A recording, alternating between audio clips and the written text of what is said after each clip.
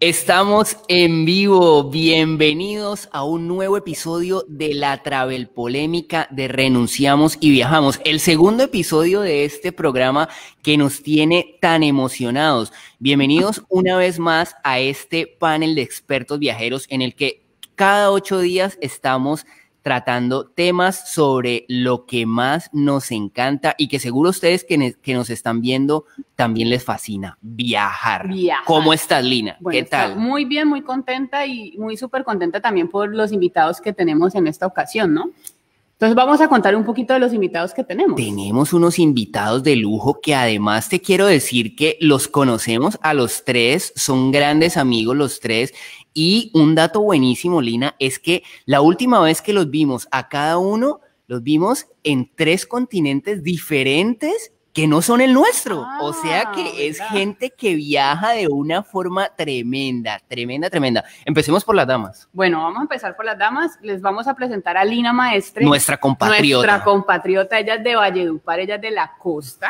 Ya lleva viajando casi el mismo tiempo que nosotros. Está viajando desde el 2014 ella es escritora, tiene su libro que se llama El arte de viajar sola. Autora del blog Patoneando. Autora del blog Patoneando. En este momento ya nos está hablando desde Francia. También tenemos como invitado dos pesos pesados desde Argentina, ¿no? Están ahorita en Buenos Aires. Uno es Esteban Macioncini este man es un duro, viaja como desde 1993, imagínense. lo encontramos haciendo una travesía en bicicleta que nos dejó fue con la boca abierta. Nos vimos con él en Tánger, en, Marruecos. Y uff, qué tremendo viaje el que estaba haciendo. Que se vio, digamos, pausado, no finalizado ni interrumpido, no, pausado porque estamos seguros que vuelve eh, recorriendo, uniendo a Europa con, África, en bicicleta. Qué tipo tan duro. Sí, ¿ah? y él es autor de tres libros. o sea, aquí estamos hablando de gente que además de viajeras son escritores. Entonces está bueno. Y autor también del blog Un viajero curioso. Y por último, también tenemos a una pareja viajera que lleva más de ocho años viajando. Los vimos por última vez en Madrid. Sí, ellos son Carola y Machi de periodistas viajeros, también autores de libros, mejor dicho. De tres libros también. Entonces, ellos ya llevan más de 85 países recorridos. ¡Wow! Es un montón. Entonces, pues démosle la bienvenida a nuestros queridos. ¡Wow! ¡Bienvenidos! ¡Qué gusto! Un saludo para todos. Buenas. Hola, gracias, gracias por la invitación, chicos. No, gracias.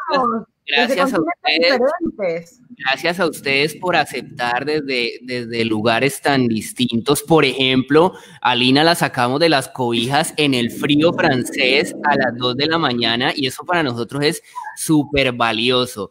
Caro y Machi en Buenos Aires, Esteban en Buenos Aires, qué gustazo, ¿cómo me les va? Muy bien, ¿cómo están? No, pensaba que con andando en bicicleta, en travesía con Esteban o subiendo, no sé, el Everest, con nosotros de tapas en Madrid, ¿no? Este, siempre comiendo, tomando algo, pero bueno.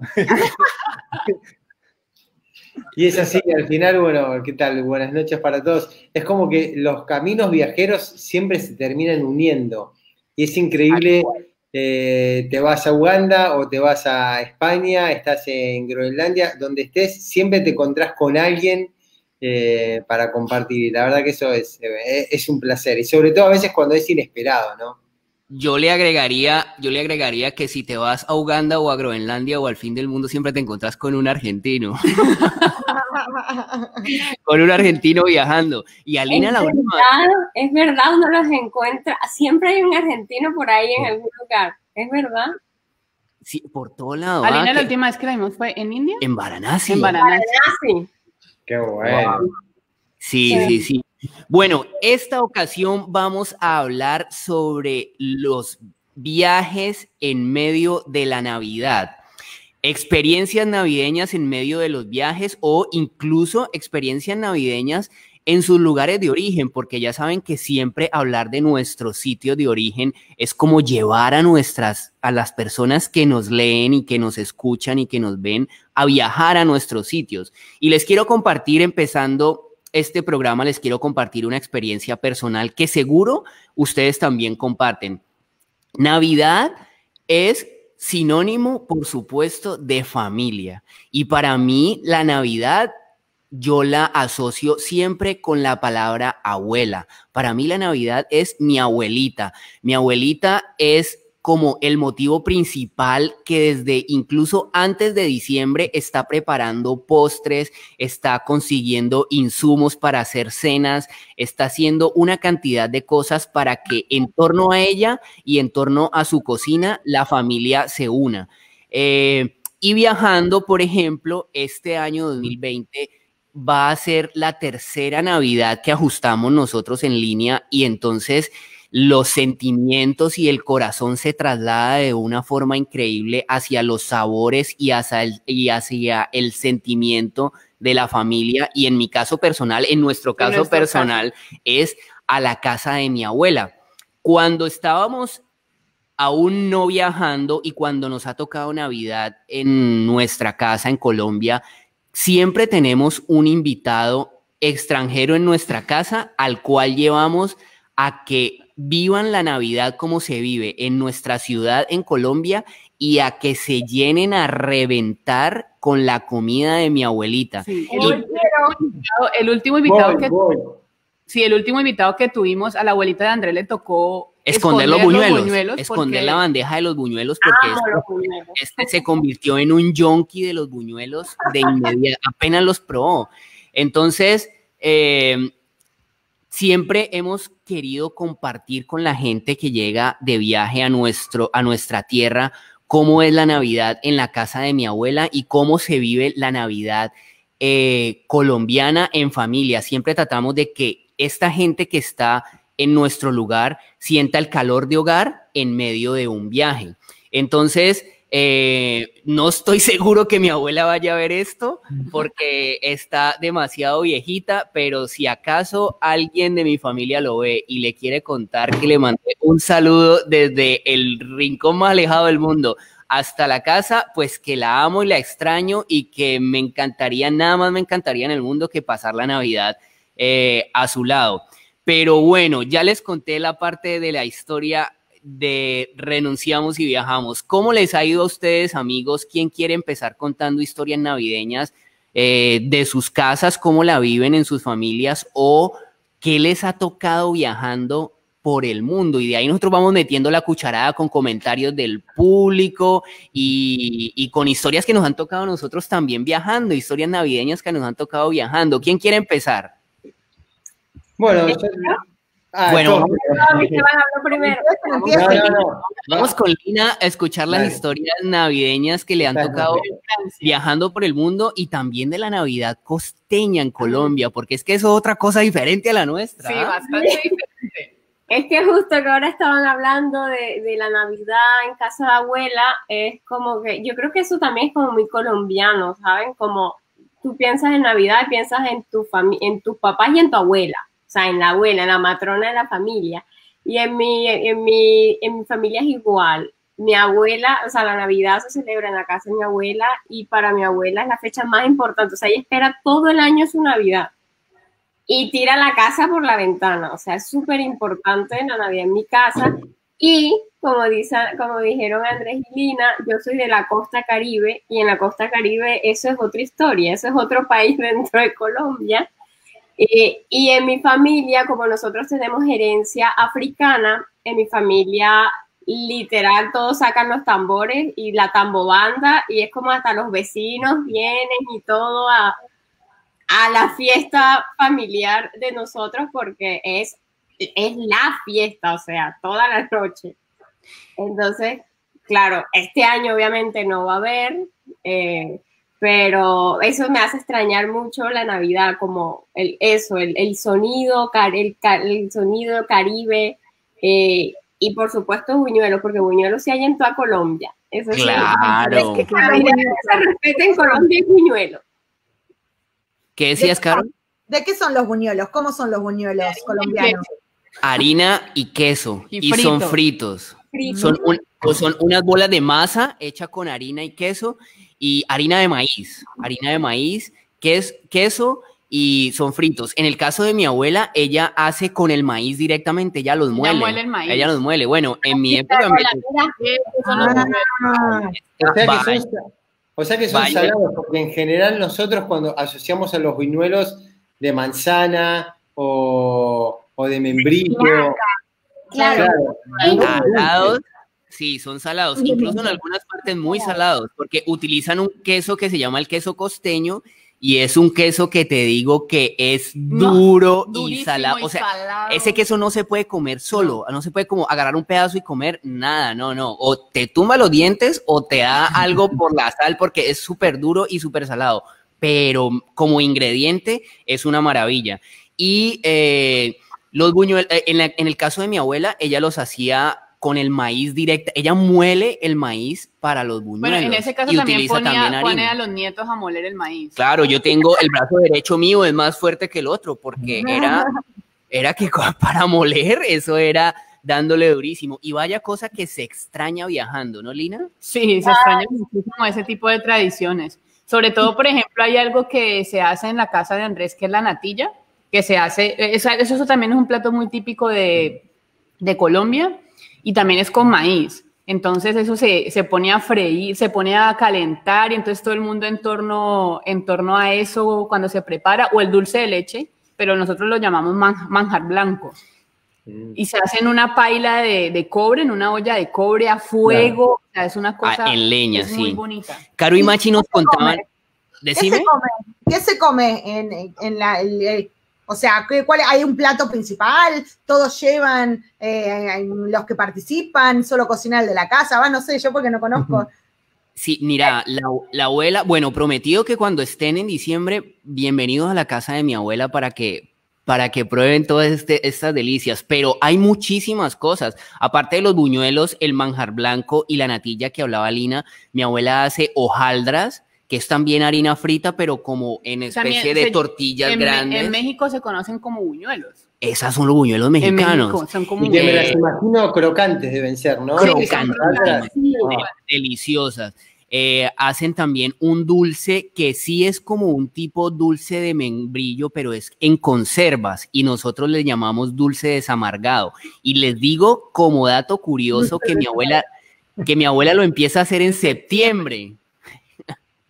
Es- mi abuela empieza a hacer el dulce desamargado en septiembre porque el proceso es muy, muy dispendioso y se hace con frutas que el requisito fundamental es que pierdan la acidez. Entonces hay que hacer un proceso con arena, cambiarles el agua un montón de veces, congelarlas, no sé qué. Entonces hace, por ejemplo, con pomelos, toronjas, Naranjas, higos, naranjas, limones. Entonces, y esto al final para comer con queso blandito, ay, ay, ay, ay, ay, ay. No sé por qué, pero ya estamos empezando a querer a tu abuela, ¿eh? Sí, ya la sí. queremos conocer. No, eh, y no, y les digo que los adopta en un segundo, así que preparen una Navidad en Palmira, Colombia, porque eso les va a encantar. va a. Caro y Machi nos contaban en los camerinos que han pasado una Navidad, una sola Navidad, de todo este tiempo que han viajado una sola Navidad eh, por fuera de casa. Ustedes son más bien de los que dicen,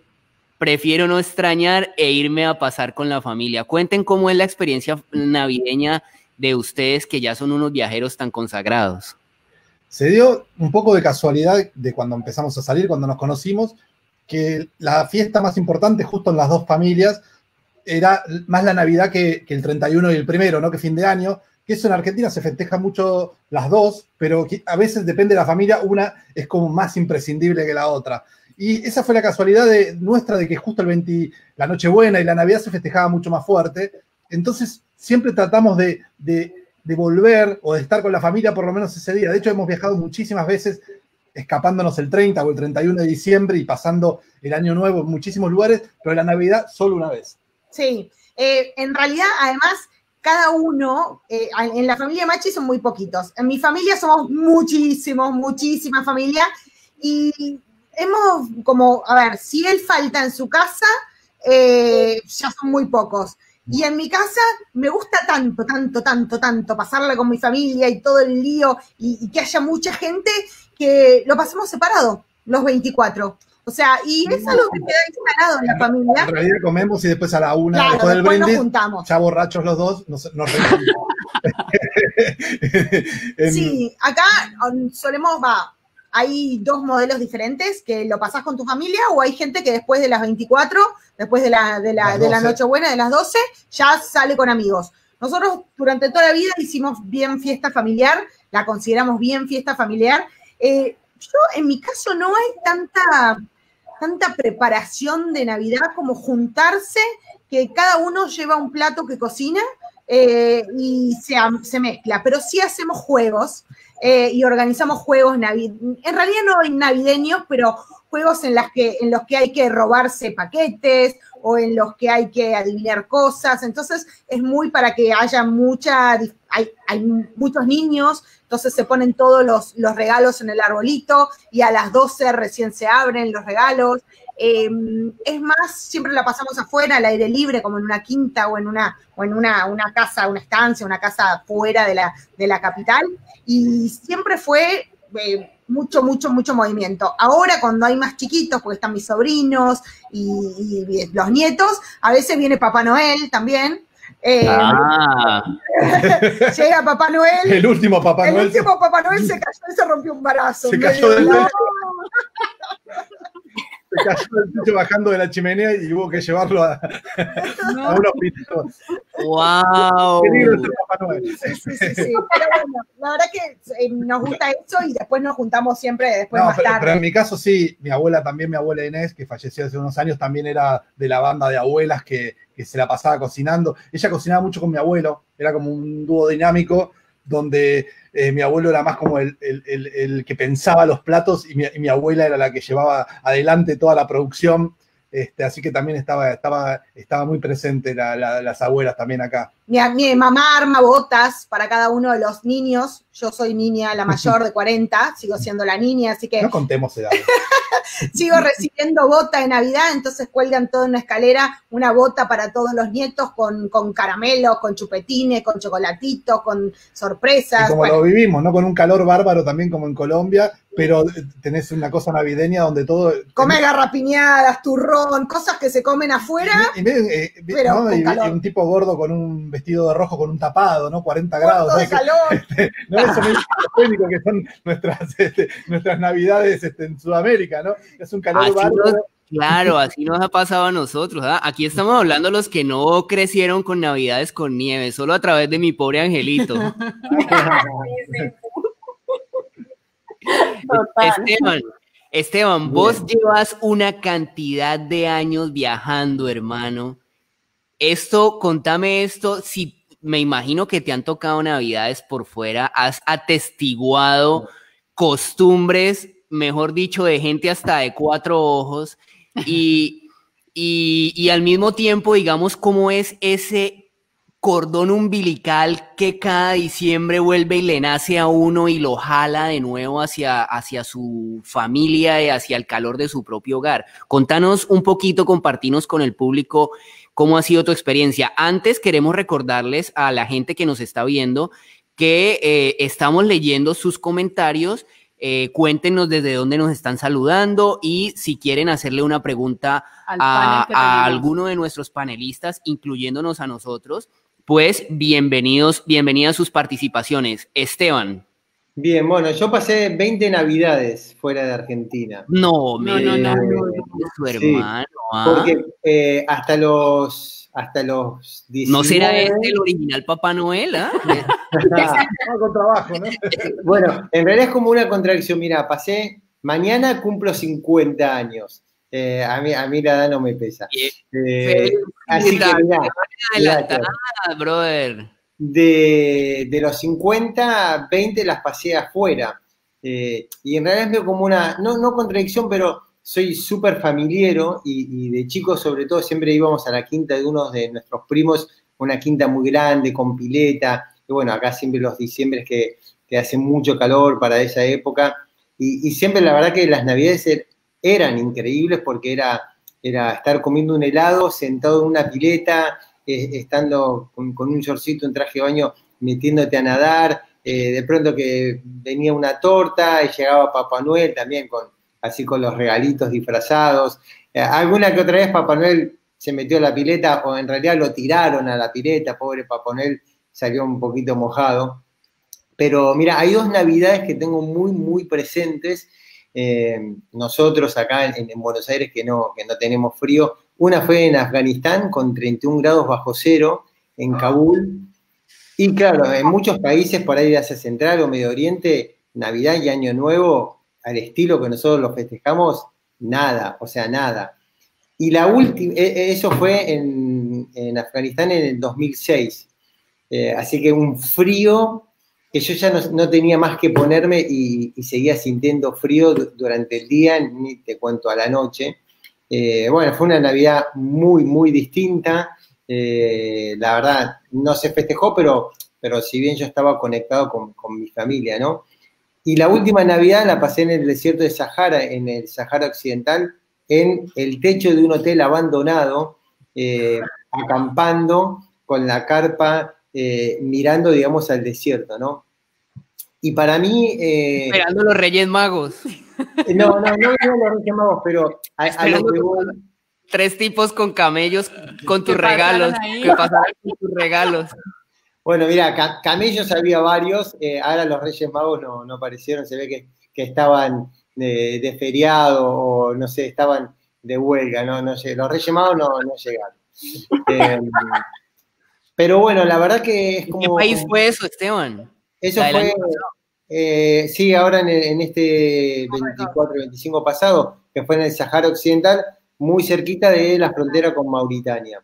Ah. Eh, que aparte, mira, esta Navidad va a ser, bueno, en realidad la Navidad pasada, imposible, imposible de, de olvidármela, no solamente porque eh, el 24 y el 25 estuve, estuve solo, eh, en realidad yo digo solo físicamente, pero acompañado por un montón de, cosas, ¿no? Pero el 24 de la noche fue el día que, me rompí el ligamento del pie derecho, con que me oh. caí.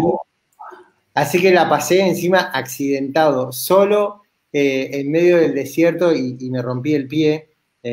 fue durísimo, durísimo, sobre todo porque al otro día 25 pedalear 90 kilómetros con el pie fue, así que te puedo decir que la última Navidad fue dura, va a ser muy distinta, obviamente, de la que voy a pasar ahora en familia. Así que bueno, un poco de, los dos extremos. ¿Y qué sensación tenés en este momento que se acerca Navidad y de nuevo tu familia te tiene en casa? Y mira, te digo, lo, primero que yo, que la, la, primera palabra que se me viene a la mente es la de gratitud. Yo, yo la verdad que estoy muy agradecido y me siento un privilegiado, eh, no solamente por estos 105 países recorridos, sino por, por, todo lo que significa vivir la vida, como, nosotros cuatro y muchos más que de, viajeros. Y ahora, bueno, tener a, mis abuelos ya fallecieron todos, pero bueno, tener a, la familia de cerca, eh, para mí es eso, es gratitud, es eh, el privilegio de estar en familia, de nuevo después de, de varios años de, no estar compartiendo Navidad. Uy, tremendo. Puedo imaginar la sensación tan maravillosa, ¿ah? la calidez de lo que se siente en el alma. Bueno, nosotros ahorita estamos recibiendo saludos desde diferentes partes del mundo, sobre todo de Colombia, ¿no? La gente está conectada en Colombia, en Canadá, en Guatemala. También, bueno, muchas gracias por todos los que están conectados también desde nuestra ciudad. Yo tengo una pregunta para Lina. Lina, esta es tu tercera Navidad en Francia, si no estoy equivocada. ¿Cómo son las costumbres francesas teniendo en cuenta que los franceses son tan diferentes a los latinos? Bueno, y sobre todo los colombianos y los costeños que son tan fiesteros. Tan guapachosos.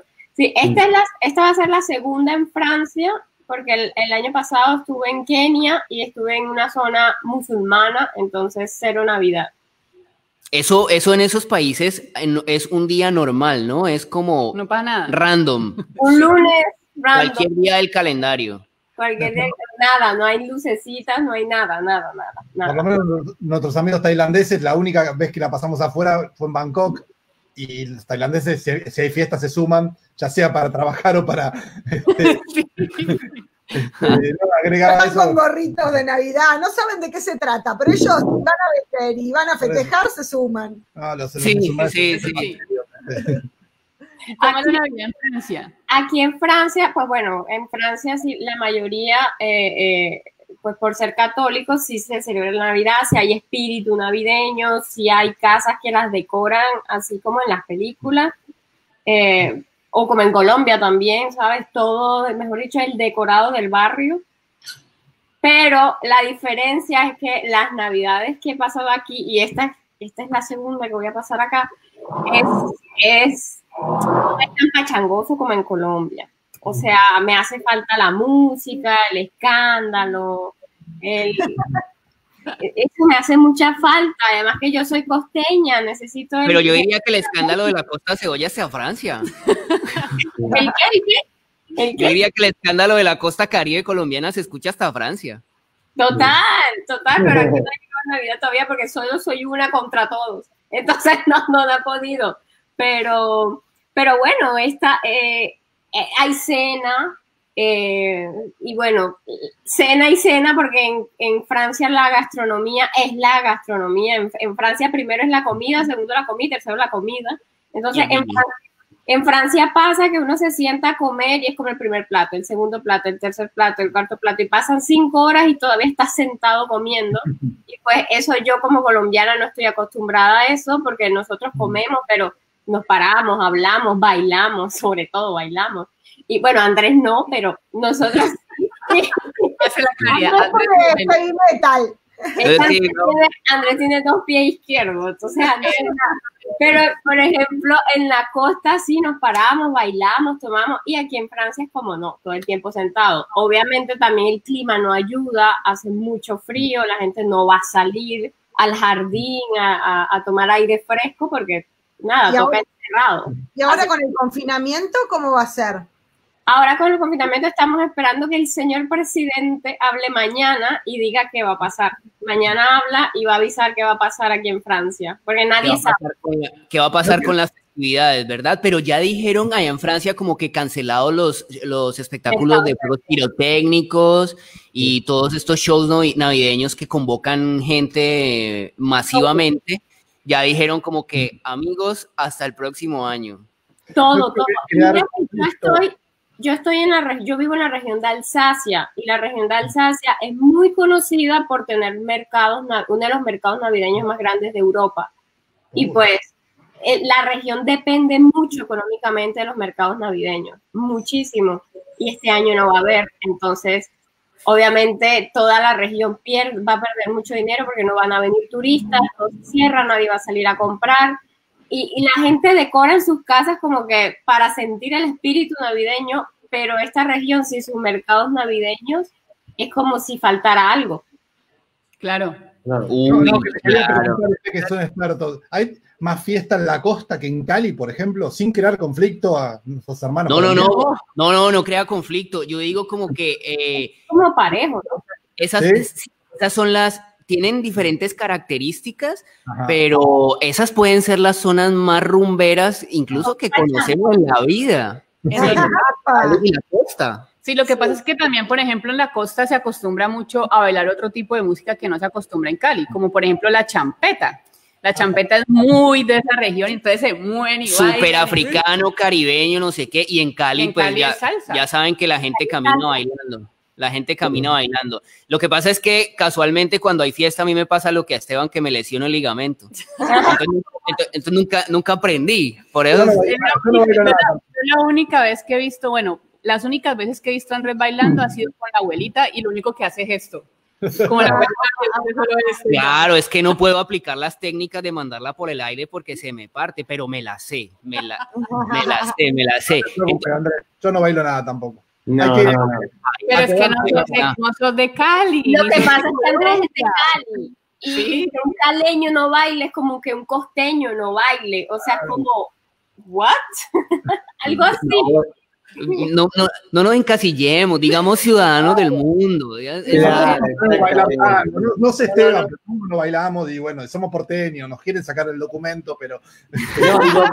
lo, lo, peor te digo que, que yo me, me rompí eh, el pie y no bailando solo en una terraza así poniendo música, sino que estaba sentado, me levanté y pisé mal y me caí.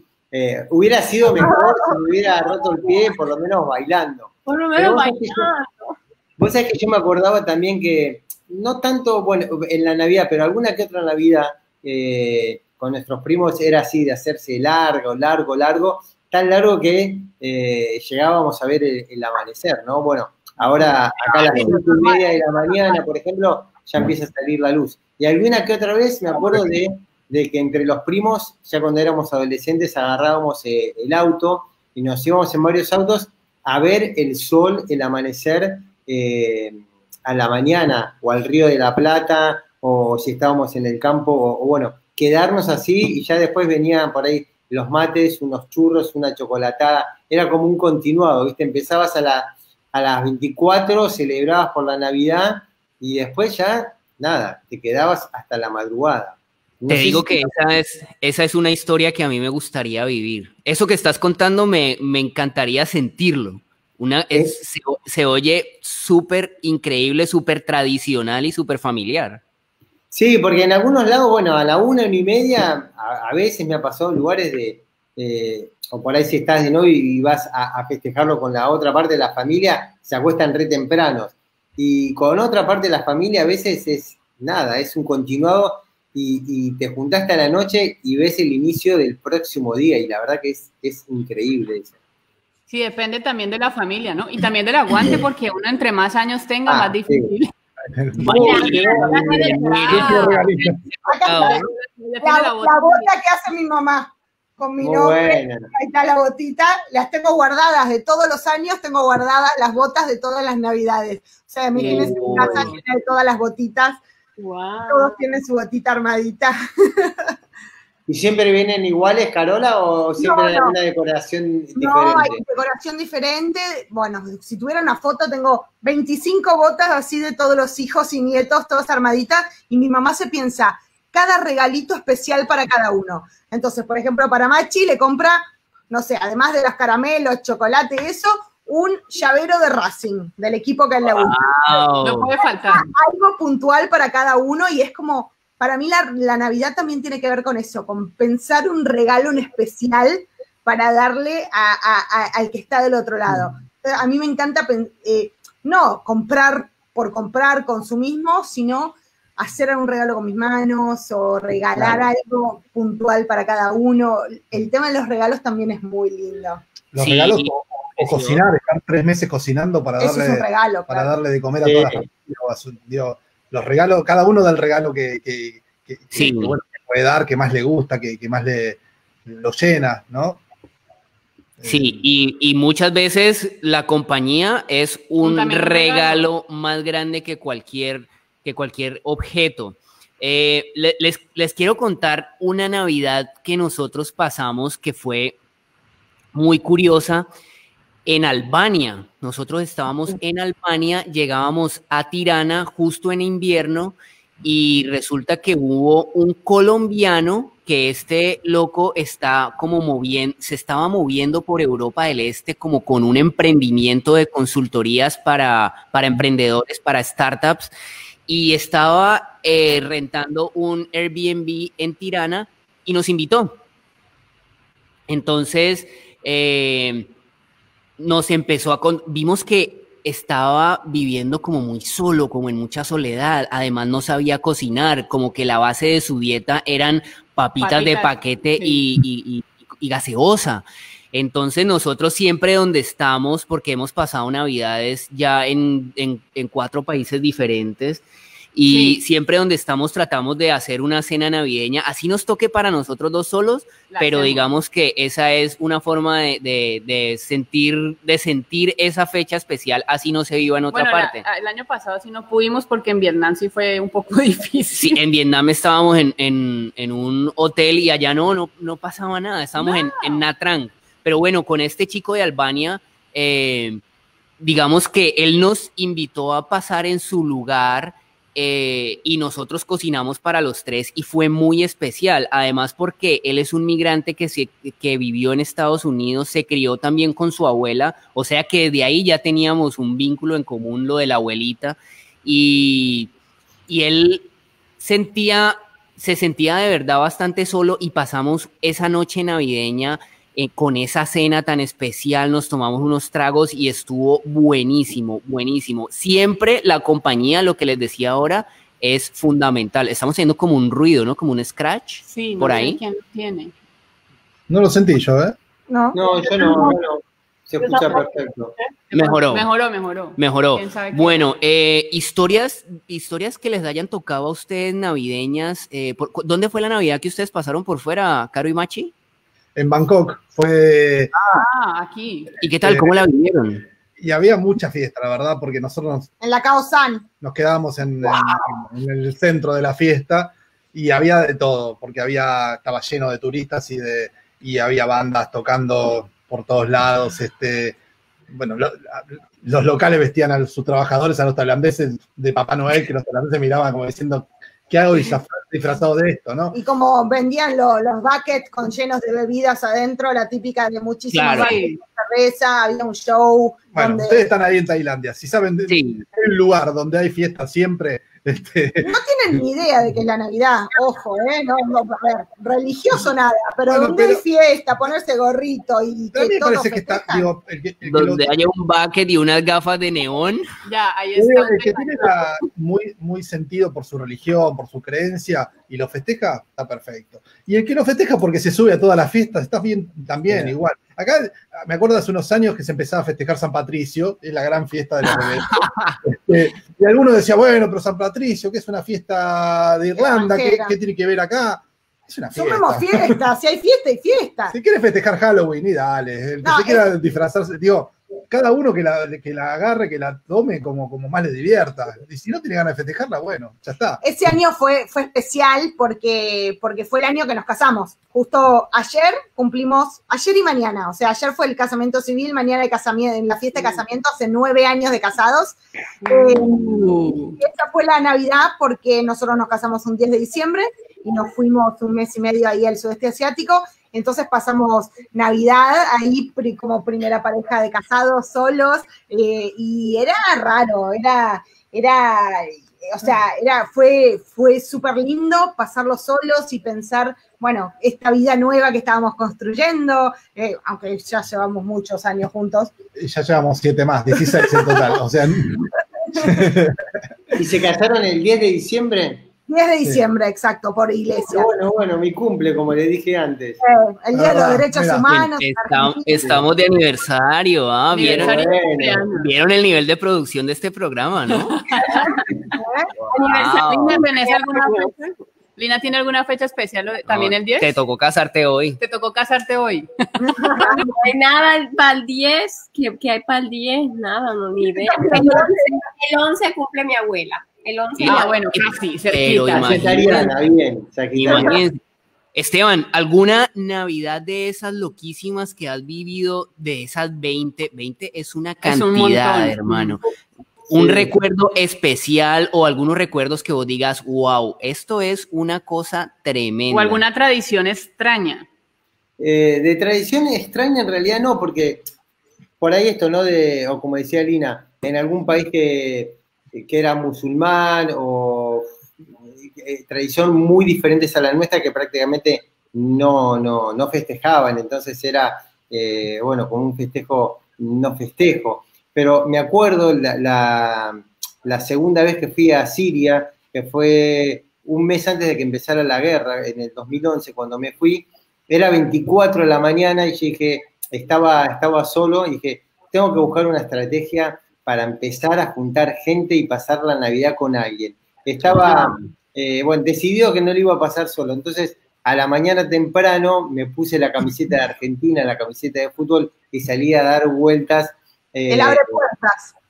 ¿Cómo? El abre puertas. Claro, el abre puertas. Eh, obviamente que en ese momento Siria no estaba del todo bien, pero tampoco del todo mal, pero por ahí que te encontrabas con gente de otros países por ahí que habían ido a hacer un voluntariado o a trabajar. Bueno, y mientras yo iba caminando por, por, por Damasco, por la capital, eh, a la hora ya había encontrado a dos coreanas y habíamos quedado que nos íbamos a juntar para, para cocinar algo juntos. Después, más tarde, encontramos un chico de Senegal que, que vivía ahí desde hace un montón de tiempo. La cosa que, bueno, terminamos siendo siete u ocho y, de los lugares más diversos. Bueno, un sirio, que era con el que yo estaba haciendo couchsurfing, eh, un argentino, dos coreanas, este chico de África. Eh, la verdad que no, no es que cocinamos algo en especial, eh, algo tradicional, sí con comida por ahí, eh, de los dulces que hay de, ahí en Siria, con miel, con pistacho, muy parecido a los, a, los, de Irán, muy rico. Pero, pero bueno, recuerdo e, esa Navidad así de, un montón de gente que nos fuimos conociendo por la calle y que con el día de hoy, te digo, eso fue en el 2011, con, uno o dos cada tanto nos escribimos por Facebook. Así que digo, bueno, lo lindo que es también, ¿no? Cuando también tenés ganas eh, de pasarla con alguien y juntar Encontrar el motivo, encontrás el motivo y la Navidad es un motivo para, incluso para improvisar una familia el día de Navidad, ¿ah? Sí, esa la recuerdo muy, bien y después, eh, que yo lo escribí creo que en el, en el primer libro, que pasé una Navidad con 40 marroquíes eh, en un pueblito que se llama Asilah, que queda más abajo de Tánger. Bueno, fui a hacer couchsurfing y el chico este me dijo, prepárate porque nosotros no festejamos, pero lo festejamos. Eh, y, cayeron 40 personas a, la casa del chico este y no paraban de llegar con comida, cangrejos, pescados, aceitunas. Bueno, un poco como decía Lina, eh, no parábamos de comer, no, no, no, así era tremendo. Y ese pueblo queda, bueno, pegadito a, a la costa. O sea que, bueno, también fue, fue linda experiencia ahí en Marruecos. Yo quiero que ahora votemos para que esta Navidad el que se disfrace sea Machi, porque estamos buscando un, Pero justo eso votado, Ya, eso es mayoría, la mayoría vota. Mira, la verdad eh, ya la tenés. Hashtag, eh, hashtag Machi Noel. Con la cuarentena ya tengo un par de kilos de más también, así que. Amigo, es que, es que yo, yo pensé, yo pensaba que cuando el Papá Noel se había roto la pierna, vos habías tomado la posta. No. Se me hace como una herencia bastante lógica. Entonces, votemos con el hashtag Machi Noel. No, no, soy, creo que soy una persona divertida, pero cuando sea, cuando es cuestión de disfraces y ese tipo de cosas, soy el tipo más amargo que pueda haber. El Dale la vuelta, viejo, dale la vuelta, dale la vuelta. hay que estar con treinta y pico de grados envueltito en Papá Noel, te la regalo, ¿eh? No, y encima empiezan a, a inventar cosas, porque porque mi familia es católica y los nenes, los nenes no sé qué. Entonces le empiezan a inventar historias, pero ¿cómo que es Papá Noel, pero en realidad es el niñito Jesús y en realidad es el abuelo del primo del hermano? Entonces se meten en un berenjenal, o sea, en un lío. en un problema. pero eso está buenísimo. Eso está buenísimo. la historia para ver cómo entra Papá Noel en toda esta cuestión. Claro. Y, yo me ofrezco. hay mucho Yo me ofrezco, si algún día voy a pasar Navidad con ustedes, me ofrezco a hacer el Papá, Noel colombiano, pero claro, ¿cómo no? Ay, me encanta el Papá Noel colombiano. El Papá Noel colombiano llega con chancletas, llega en chancletas. Ahí ya la gente está diciendo Machi Noel. Machi Noel. Machi Noel. Es tendencia. Es tendencia Machi Noel. Sí, sí, sí. Ya se viralizó, hay dos millones. Ni del zorro, no me, no me disfrazo. Me invitan a un, baile de disfraces y, voy vestido de periodista, nada, un poco igual. Pone un banner, hace un banner que diga, vote por el hashtag Machinoel. dale, dale, hazlo, hazlo. ¿Ustedes sabían que en Colombia no es Papá Noel, sino el Niño Dios? ¿En ah, serio? Ah, mira. Pero para el, hombre ese gordo y barbudo vestido de rojo le dicen Niño Dios. No, no, no, el niño Dios es el, niño Dios, o nosotros decimos también el nacimiento es el bebé, es, es Jesús. El niño Jesús, Entonces, los regalos no los trae Papá Noel, sino el niño Dios. Claro, le ah, entonces le escriben cartas al niño Dios. Sí. Lo, de Papá Noel, eso es como más que viene de. Adoptado. Sí, es. Claro, ahí es Noel. Pero es que. Noel. Es tendencia. Es tendencia, ¿eh? para, hacerle creer a los chicos que un bebé le traía un regalo, dijeron, bueno, es esto, ya está. Este, no, no, no, y es que se tienen que acostar temprano los niños para que el niño, si no se acuestan temprano, el niño Dios no viene a dejar los regalos al lado de la cama o al lado del pesebre, porque es que nosotros sí también adornamos en Colombia con árboles de Navidad, pero es el pesebre. Entonces, cuando éramos niños, se llegaba el momento de nuestras vidas en que nos levantábamos y teníamos bicicletas parqueadas al lado del pesebre, cada una con nuestro nombre, y eso era, pero el para momento. Mí, sí, pero para mí fue muy triste porque yo me acuerdo cuando descubrí que mis papás eran el, el niño Dios, fue porque yo vi mi bicicleta detrás del el tocador de mi mamá. ¿Cómo llegó tan temprano? Si alguien acá sigue creyendo en. Bueno, pero no, pero hago esta pregunta: ¿se van a dormir y los regalos los ven al día siguiente? A la mañana sí. al día Claro, claro. No, claro, nosotros no, por la noche se abre todos los regalos. A las 12 de la familia? noche, todo el mundo despierto, los chicos, los nenes, están todos despiertos a las 12 para recibir regalos, no se va a dormir nadie. Si no salen, en, mi, casa, en mi casa, espe- o sea, como la parranda, la fiesta empieza desde las 7, 8, esperamos hasta medianoche. Mi Ah. abuela hace una oración, eh, hace, rezamos el Padre Nuestro y después, bueno, feliz Navidad, feliz Navidad, nos abrazamos todos, empezamos los regalos. Cuando éramos niños nos daban regalos. Ya Sí, después de no. ya los No, regalos es como, mm, a ti sí, a ti no, porque no la familia es muy grande. claro, no, ahora Pero decimos, ahora después- decimos que tiene este niño que no tenga yo. ¿Qué Exacto, y después Mamá, de ¿dónde están los regalos- juguetes? Y después de los regalos nos damos, eh, o sea, em- cenamos y ya después de la cena sigue la parranda. Pues Sí, pero Yo me acuerdo, Va- por ejemplo, en mi caso, yo me acuerdo que a mí me hacían dormir temprano y a las 12 me despertaba mi papá. y Llegó mi el mamá. niño Dios. Llegó el niño Dios, llegó el niño Dios. pero si te has portado bien, ¿no? Si te has portado bien. Entonces, escuchen esto, escuchen esto. Resulta que pasa también así como en la familia de Lina, en todas las familias colombianas pasa igual. O sea, entre toda la familia, digamos como primos, tíos, como los hermanos, o sea, nuestros tíos, nos juntamos todos en la casa de la abuela y entre todos pues nos repartimos regalos. Incluso ya cuando la economía estuvo súper mal, pues ya no dábamos regalos, todos regalos a todos, sino que jugábamos al amigo secreto. Yo creo- secreto. Ah, amigo invisible, decimos nosotros. ¿Es en, ¿Dónde es que se llama el Santa Escondido? ¿No es en Argentina? Nosotros, amigo invisible. No, amigo es- invisible. Es ese, entonces hacemos una dinámica y como que no decimos como, ah, yo saqué a Caro, sino que hago una descripción de Caro y los demás tienen que adivinar y listo. Entonces después sigue Caro a hacer la descripción de la persona que sacó. Bien, ahí es que todos salimos con nuestros regalos en el arbolito o en el pesebre y en fin.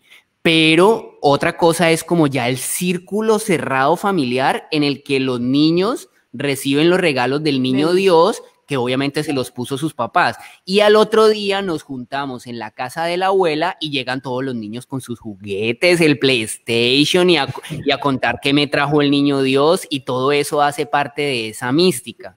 Yo recuerdo mi regalo preferido de niña, el regalo de, de Navidad que me hicieron, que en mi caso todos lo dicen, porque ya sé que me lo regaló mi abuela, pero me acuerdo que yo tenía, no sé, 10, 12 años. Si chicos, todavía guarden, que no sí, sí, escuchen que no esto. escuchen porque- esto, no escuchen los niños que hay spoiler. Eh, una, me regaló como una muñeca que patinaba, que le, y hablaba y decía, yo patino, no sé qué decía, pero eres como mi regalo que me acuerdo, fanática de ese regalo de la muñeca pali- patinadora. Me hiciste acordar de, de esto de los regalos preferidos.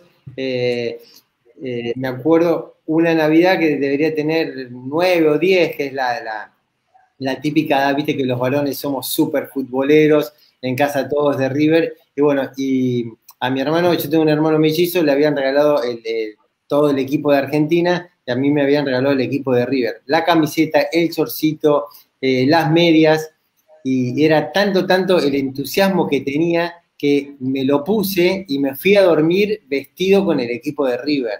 No, Claro. no me saqué, creo que la camiseta por los dos días que siguieron después, eh, ya me la tenía que sacar con la fuerza, pero me acuerdo de eso, ¿no? De, de que e- esa ilusión de que cuando sos nene, una camiseta de fútbol, una pelota, la muñeca, el patín, la bici, es todo, lo es, es todo. Hermano, me hiciste acordar de una historia que esta la tenía borrada, pero ac- acaba de volver a mí en forma de. Epifanía. Escucha esto, a mí me regalaron unos guayos, unos, unos botines de fútbol. Sí, buenos, con taches, todo, y una pelota. Pero resulta que al otro día era un paseo al río. era un paseo al río. Entonces yo estaba súper feliz con mis guayos, pero me fui con los guayos al río a andar así por las piedras, a moverme así por las piedras y con una pata torcida. Yo, yo creo que de ahí arruiné mi carrera como futbolista porque soy un soy una pecueca para jugar. Bueno, aquí, hay una persona que está diciendo que le tocó quitar el volumen porque le estamos haciendo un spoiler al hijo. Ah, no, hay, hay, que hacer advertencia. Hay que hacer disculpa. Advertencia, advertencia. Ah, por Dios. Sí. Lina, ¿tú vos te acuerdas cuál ha sido tu regalo favorito cuando eras niño? ¿Te acuerdas de pronto? Necesito que, oye, es raro porque no me acuerdo. Mi mamá está conectada, mami, por favor escribe un comentario. favorito, mami. Ayuda. Eh, eh, oye, no, no me acuerdo. Yo, yo me acuerdo, yo me acuerdo que por ahí, yo no sé, yo tenía que como 10, 11 años y se acuerdan del boom de Britney Spears. Sí, claro. Bueno, yo tenía como 10, 11 años y la Britney era como el boom en ese momento. Y yo me acuerdo que para mí recibir el CD de Britney fue como, wow, o sea, para mí es mi primer CD y todavía, yo soy de la época todavía de los cassettes, yo tuve cassettes y mi primer CD fue como el de Britney, o sea, para mí fue la, como la tecnología de recibir el CD. Eh, yo creo que ese, pero después como que mami escribe, mami nos escribe. auxilio, auxilio, mami, auxilio, mamá, tírame un cable. Yo sí me acuerdo de que también fue una muñeca, pero era una muñeca como bebé, come galletas. Y, y siempre me decía, mami, tengo hambre. ay, ay, ya sé cuál fue mi mejor regalo, el Tamagotchi. Oh, ah, el Tamagotchi. El Tamagotchi, ¿se acuerdan? El Tamagotchi. Oh, sí, sí, sí, sí, me acuerdo. Uy, el mami, tengo hambre, ¿no?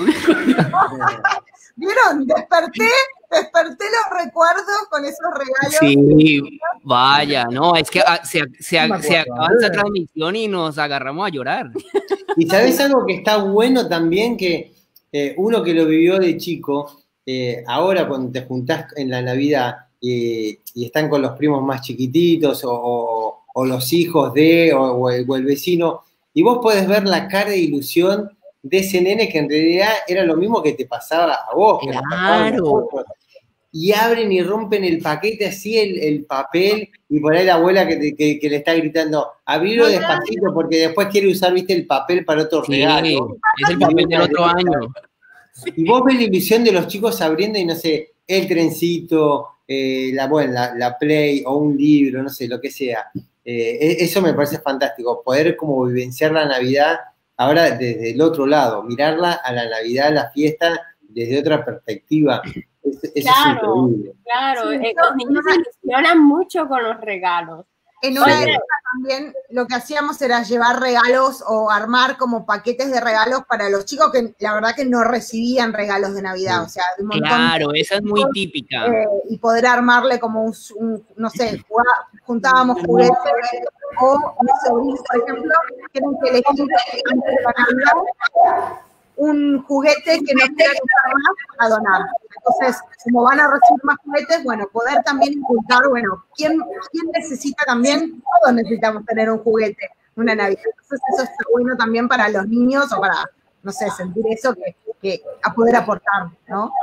Sí, nosotros, por ejemplo, pasamos una Navidad en Cartagena repartiendo regalos en una, en una isla que se llama Tierra Bomba, repartiéndole regalos a los niños. En una pues, isla abandonada por el Estado. Fuimos Papá Noel, digamos, sí, como Papá Noel en pantaloneta, pero... pero ¿Con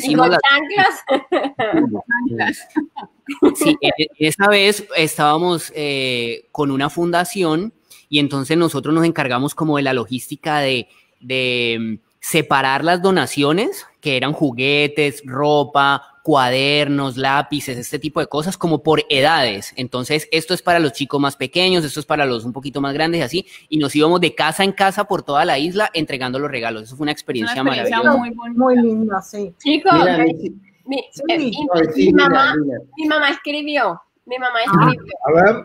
Y mi mamá dice que cuando era pequeña las Barbies y ah. después fue el DVD del Titanic. Pero ah. no la película, sino el documental, porque yo soy súper fanática de la historia del Titanic. Ah, mira. Entonces, eh, a mí me regalaban DVD, documentales, libros, todo lo que sacaba Discovery, mi mamá me lo compraba. Entonces ella dice que el DVD del Titanic. Yo no me acuerdo. Vaya, Vaya. qué tremendo regalo. Sofisticado, no la película, sino el documental que cuenta la historia. Sí, Sí, sí, sí, no, es ilustrada, ilustrada. Muy Sí. culta Lina con el Titanic. Una tradición que no hemos dicho de Colombia, no sé si la hacen también en, en la costa, no sé, que es rezar la novena. Ay, sí. En Colombia, En toda no, Colombia. En toda Sí, Colombia. es en todo Colombia. La, rezar la novena es, uno tiene el pesebre, el pesebre es que está todo, eso, los pesebres son muy chistosos porque a veces los animales son más grandes que, los, Que las las casas. casas y que las personas. O sea, es, es- son muy bonitos. Y es una tradición que arranca del 16 de diciembre hasta el 24 de diciembre. Y, por ejemplo, la mamá de Andrés es una fanática de hacer ese tipo de cosas. Ella le gusta hacérselo sobre todo para los niños más necesitados, pero yo sí me acuerdo que cuando yo era niña, yo iba, yo visitaba, yo rezaba la novena de casa en casa y a mí siempre me tocaba la oración que era la oración del niño Dios, porque uno tiene las oraciones, ¿no? ¿no? Del niño Jesús, la oración del niño Jesús. Entonces, esta novena es como los últimos nueve días del, del antes de que naciera el, el niño Jesús.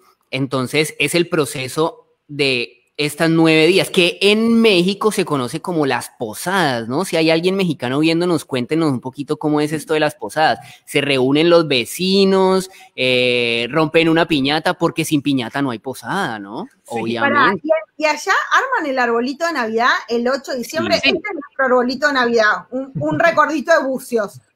Pero es que, mira que Miren el mío, es la primera vez que tengo uno natural de verdad. Bueno, ahí no se ve, Ah. pero Ah. es natural de verdad, porque en Colombia son sintéticos porque no Claro. tenemos árboles. Allá se secan un día, ¿no? Sí, pero mira que, por ejemplo, en Colombia arrancan a armar, yo creo que desde noviembre, a armar todo lo que tiene que ver con Navidad. El primero de noviembre ya está sacando todo. Sí, no, no, no. Y es que, y es que escuchen esta historia tan macondiana. Termina el Halloween y no han bajado las brujas y ya están los muñecos de nieve. O sea, esto es como una Navidad tropipopera. Sí. No, y lo otro, hay otra tradición que es súper bonita, que incluso Lina la estuvo compartiendo en su Instagram, es que nosotros tenemos algo que es el alumbrado, que es el 7 de diciembre, Bellísimo. que es el día de las velitas. Ah, Entonces siempre se ponen las velitas, siempre se ponen velitas el, el 7 de diciembre y eso es que el día de la Inmaculada Concepción y el día de la Virgen. O sea, eso se refiere, 8 el día de la Virgen. se refiere como al, al día en que el ancar- arcángel Gabriel llegó a A donde, a donde María a decirle, vos sos la elegida para, para tener a el niño Dios. Entonces, De hecho, eh, el festivo, el festivo es el 8. Creo que el día, el Claro. día de, la, de la, de la, ¿cómo se en llama? la noche del 7 del de la es- exacto, es el 8 de diciembre, en, creo que en todos los países católicos. Pero Sí. en Colombia, en las velitas, es como empezamos el 7 de diciembre y ya a medianoche en la madrugada del 8. Sí, No, sí, nosotros sí. ¿Cómo? es el día que se arma el arbolito, en todas las Claro. cosas. O sea, con Ah, los sí. niños es el 8 de diciembre, día de ramada. En Colombia, Sí, acá, el 7 de diciembre ya está todo feriado. En armado. Colombia, en Colombia cuando quieren lo Eh, arman. Sí, en Colombia en noviembre, noviembre. No, incluso lo pueden armar, quién sabe, y, y- y dura como hasta mediados de enero, todo el todo, porque se les da pescar, sacarlo, porque. Me acuerdo ahora que estábamos en Chiang Mai el día, el, el- el año ese que pasamos Navidad allá en, en Tailandia, y que había en Chiang Mai un arbolito de Navidad hecho todo con CDs reciclados. Habían hecho toda una instalación y era todo el árbol enorme en la plaza con todos CDs reciclados que brillaba como si fuera la nieve, pero así es, es lindo ver también cómo decoran. Bueno, en Tailandia decoran a full los shopping, los lugares, todo. ¿no? Sí. Bueno, Vos. Andrés, habías, habías hablado de, de una fundación y me acordé eh, de una Navidad en, en Dar el Salam, en Tanzania, eh, que bueno, es- esas cosas de la vida. Eh, me fui a, a- un orfanato eh, que era llevado por, por monjas eh, católicas, y bueno, ahí sí lo, lo festejaron, ¿no? Porque bueno, bien todo como, como por la religión, y, y si bien era muy sencillo y no había así comida abundante, pero habría unos 25, 30 chicos de, de todas las edades bien variados, y, y a la noche comimos el pescado eh, que habían pescado ahí en, la costa y lo habían comprado las monjas en el mercado, ¿no? Entonces vos te habías nombrado algo de la fundación y me acordé de eso, de, pasando la Navidad en, ese orfanato y de a veces lo mágico que tiene este los viajes que tal vez no es con una tradición en la comida, en una costumbre, sino la situación lo que te lleva a, después a recordar y a conectar, si wow, ¿no? Y no solamente eso, sino, eh, por eso yo te lo resumía con una palabra que es la gratitud. Hoy estamos en Argentina o estamos en un lugar con nuestros afectos, amigos, seguramente vamos a comer algo rico, eh, pero a mí me sucede en lo personal que muchas veces eh, mi memoria vuelve a esos lugares, esos países, eh, al frío de Afganistán, a, bueno, ahora Siria bombardeada, a, este orfanato de, Tanzania. entonces, bueno, para mí también es una manera de recordar a, a los otros o a esos encuentros, esas navidades tan distintas, ¿no? Sí, yo quiero, no, no quiero dejar de terminar este programa sin contarles también algo que mencionaba ahora Lina y es eh, cómo vivo yo la Navidad con mi mamá, porque si bien mi mamá es una mamá alérgica a los fogones y a las cocinas, ella sí es una mamá muy navideña, empezando porque ella es maestra, ella es profesora, fue profesora toda su vida de, eh, de escuela y de colegio público. Entonces, fue atestiguar diferentes tipos de familias y de chicos que en su mayoría eran con muy pocas posibilidades de celebrar y de festejar de la forma en la que nosotros no lo hacíamos. Entonces, mi mamá sí que la vi disfrazada de Papá mm. Noel, o sea, te la en contacto con ella, Machi, porque ella sí, que era, la Mamá Noel, la hemos visto un montón y entonces ella, eh, por ejemplo, ella... Eh, invita a los niños del barrio y, hace eh, no, justamente las novenas. Entonces ella compra comida, eh, junta con los amigos y con la familia, junta donaciones en dinero para, para comprarles regalos, para comprar ropa, para hacer que esos chicos se sientan eh, que son tenidos en cuenta. Entonces yo crecí todo el tiempo de esa forma, cada diciembre yo estaba yendo de una Navidad a otra y a otra y a otra, gracias a los alumnos de mi mamá y a su iniciativa de, a su, iniciativa caritativa en épocas de Navidad, que también la Navidad es eso, ¿no? Es un momento de, dar y de, de, dar a través de justamente lo que menciona Esteban, que es el agradecimiento. Bueno, yo creo que eh, llegamos a el fin de este programa. Si alguno de ustedes quiere agregar algo más, sería un gustazo escucharlo y si no, vamos cerrando, muchachos. No, pues feliz Navidad y felices fiestas para todo el mundo, estén donde estén, porque yo sé que este año, o sea, yo sé que este año las fiestas para muchos va a ser algo muy diferente, eh, muy diferente. Creo que para el mundo entero que festeja Navidad este año va a ser muy diferente. Entonces, pues nada, a todo el mundo yo les mando un abrazo y felices fiestas, estén donde estén. Y como dice Esteban, gratitud y pensemos más bien en lo que tenemos y no en lo que nos falta en cuidarnos. todo puede mejorar, en que todo va a mejorar, sí. El, siguiente, el siguiente año le damos la vuelta a esto y, y, empezamos por favor, Y que por favor nadie, nadie pida que el 2021 le dé sorpresas. no, no, tuvimos demasiadas. No más, ya, estuvo, ya, sorpresas. Ya estuvo, ya tuvimos la del resto de la, la, del, resto de la, de la, década. De la vida, ya, de la vida. Por favor, nadie pida ese deseo. Linita querida, muchas gracias por acompañarnos, gracias por tu esfuerzo del madrugón y de atender a esta invitación. Nos encantó tenerte por acá y a vos y a ustedes, Esteban, Caro y Machi, les contamos que vamos a seguir con nuevas polémicas y los vamos a seguir invitando. Así que pendientes porque estas conversaciones tan entre amigos y como tan cercanas eh, nos encantan y definitivamente las vamos a seguir haciendo, así que les vamos a volver a tocar la puerta a decirles bienvenidos. Que poder a madrugar otra vez a Lina también. Eh, la Esteban, esto fue Machi Noel. Así que es tendencia, ¿no? Es tendencia. Voten por Machi Noel. Machi, Machi, Machi, por favor, por favor, no nos decepciones. En dos semanas, Carola, queremos en ver dos la semanas, foto. Carola, vas a estar subiendo la foto de Maki ahí. Quere- ¿Cómo queremos, queremos, queremos, por favor, que Machi Noel nos mande un saludo en el momento cumbre de, lleno de niños en su regazo, por favor. Empezamos bien, empezamos bien. Esteban, brother, Gracias Bien. Por esta invitación. Eh, sobre todo desearles a todos que, que le pongan mucho corazón, mucho amor, que lo material no importa, que lo que importa esta Navidad es eh, la presencia de todos nosotros, eh, el acompañarnos, el que no pase gente sola. eh, pero cuidándonos, a mí siempre me parece que, lo- los que los que la pasan solos hay que invitar, entonces cuando uno está viajando y quizás se siente solo, hay que apoyar y salir y salir a buscar, como dijo Esteban, yo quiero pasarlo con alguien. Debe haber un montón más de almas que también quieren pasar la Navidad con alguien.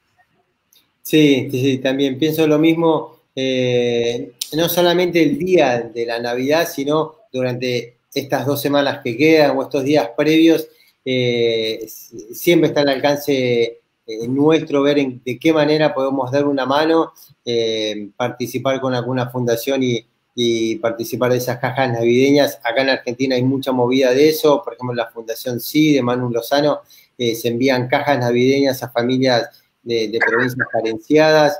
Eh, y también en el momento de- de- del brindis, bueno, recordar justamente a, a por ahí los que los necesitan, porque de- dentro de todo, bueno, nosotros estamos en familia, comiendo algo rico, bueno, eh, y si después sobra algo, eh, tratar de hacer una bolsita, llevarlo a la gente que, que vive en situación de calle.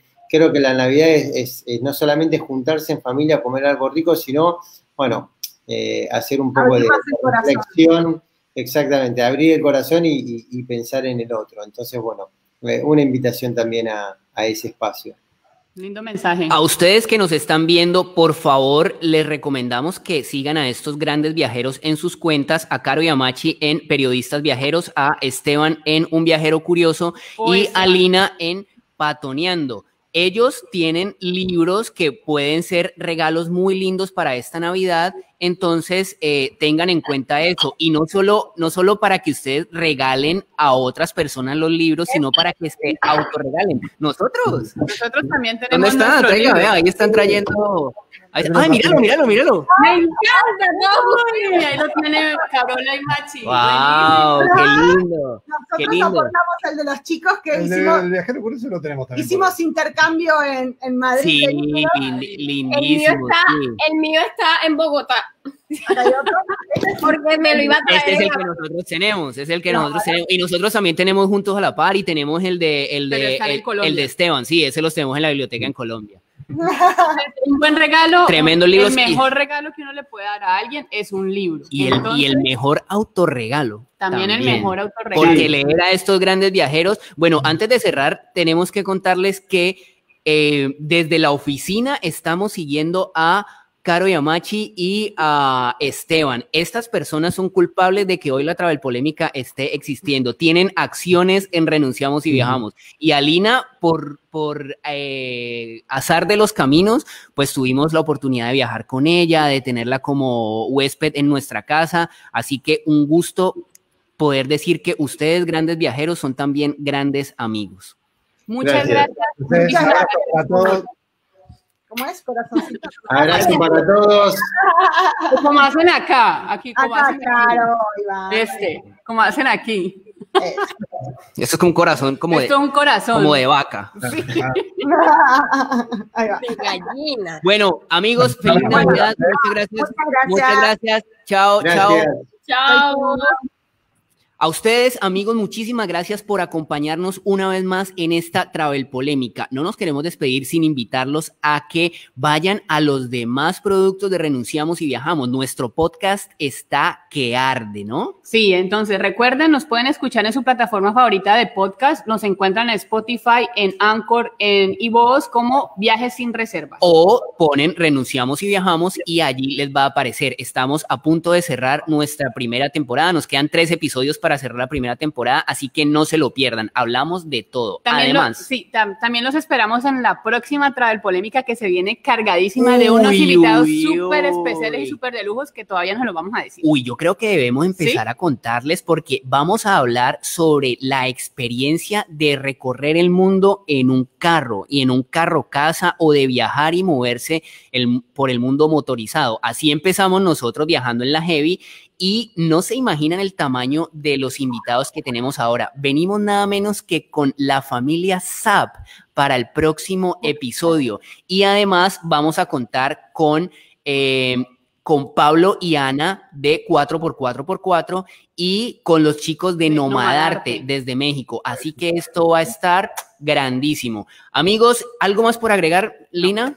Si quieren dar un regalo de Navidad, compren nuestro libro. Nuestro libro Renunciar y Viajar, el trabajo donde brilla el sol. Y estamos muy pendientes. Como decían nuestros compañeros de panel, feliz Navidad para cualquiera que nos esté oyendo. Por favor, rodéense de su familia, cuídense, por favor, tomen las medidas necesarias porque ya saben que esta es una Navidad atípica. Entonces, amigos, muchísimas gracias por acompañarnos y fue un placer estar con ustedes. Gracias, Lina, nuevamente por secundarme en todos estos proyectos. Los queremos mucho y nos vemos dentro de ocho días en la próxima Travel Polémica. Chao, chao. Hasta la próxima, nos vemos. Chao.